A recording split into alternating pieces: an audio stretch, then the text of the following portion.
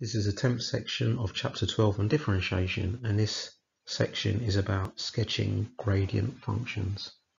So what we need to be able to do in this section is to be able to sketch the graphs that are given by either the first derivative or the second derivative or even both. So here's an example. So let's say we look at the blue line here, which is the graph of a function. Okay, so this looks like a cubic. And the red line represents the graph of the derivative. Now, if this is a cubic, we'd expect it, this to be a quadratic once we differentiate it. Now, let's see what's happening. Well, first of all, let's look at the points where the gradient is zero. So the gradient is zero here. And notice that the graph has a value of zero. And here again, when the gradient is zero, on this graph, this red line, this derivative graph, has a uh, value of zero. When the graph is increasing, it has a positive gradient.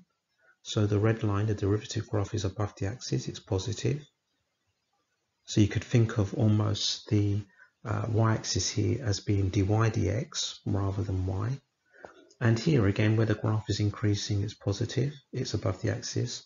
Where the red line, the graph of the derivative is below the axis, dy dx is negative, which means that the graph is decreasing, it's going down.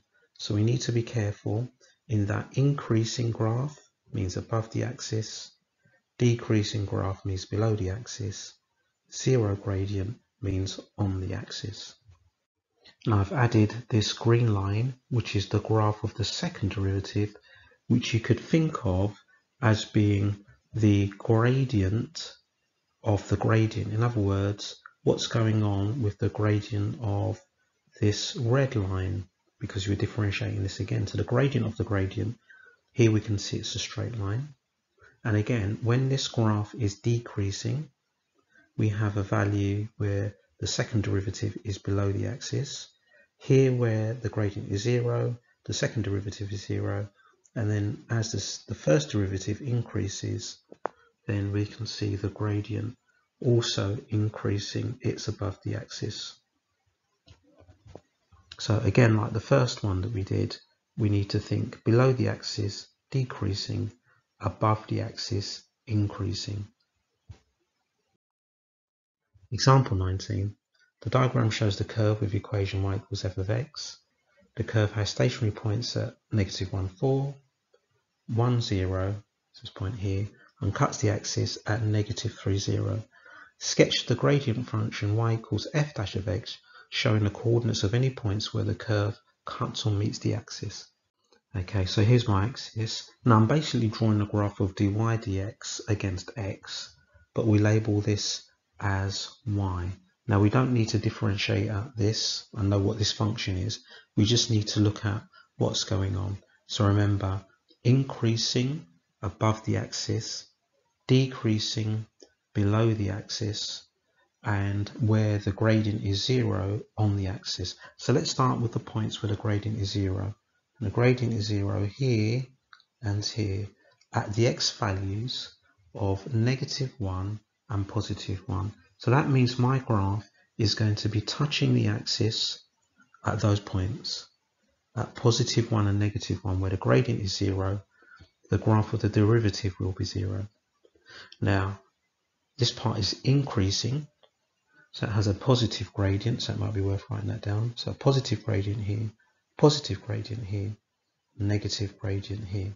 So what does this mean? Above the axis, on the axis, below the axis, above the axis. So that's what I draw.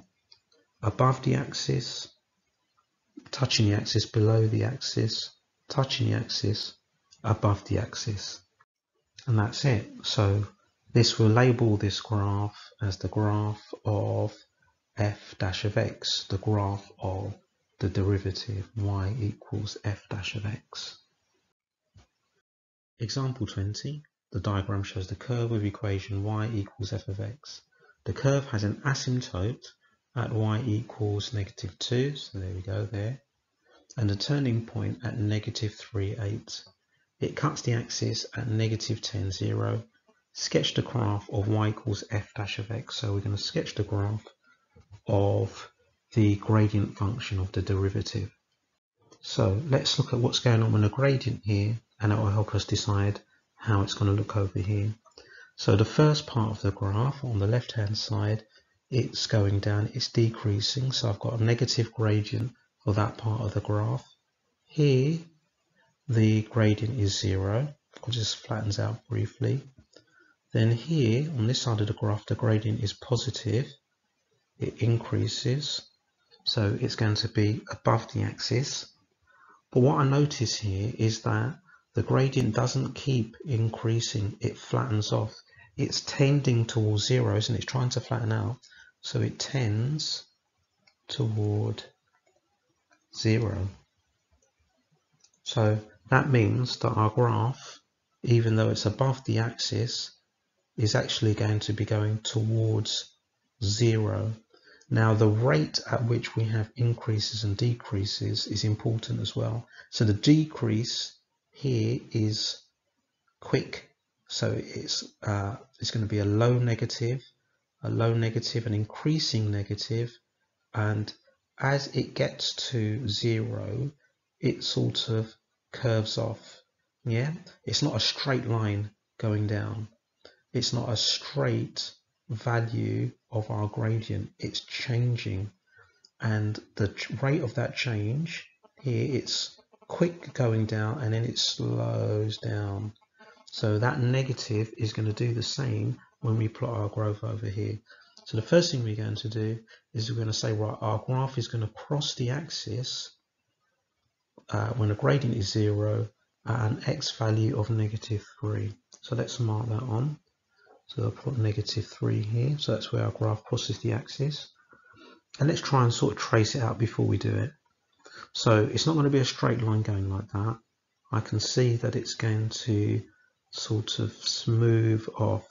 So sort of round off like that as it goes through it. Then it's going to be positive, positive gradient. And then it doesn't, it, the way it stays positive, it doesn't keep getting higher and higher. It goes down. The rate of increase, increase slows down.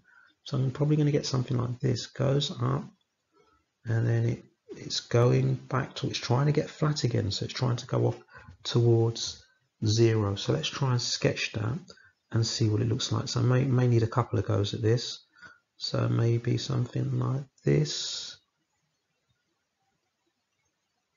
Yeah, might be something like that. So let's just check that. So this is the part of the graph where it's decreasing, negative gradient, okay, so that's negative, that's below the axis.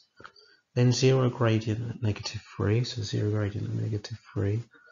And then it's increasing, but the rate of increase slows down, and it's trying to get flat, so this is trying to go off to 0. So that looks about right to me.